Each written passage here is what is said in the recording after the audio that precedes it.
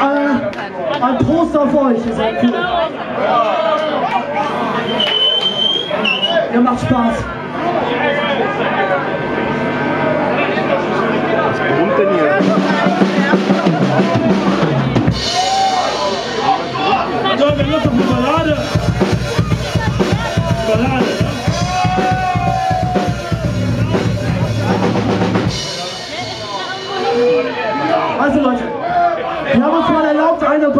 Zu schreiben, ja. Eine Liebesballade. Äh, sie ist ziemlich genau wie Nothing Else Matters, nur anders. Er musste schreiben mit der Gitarre.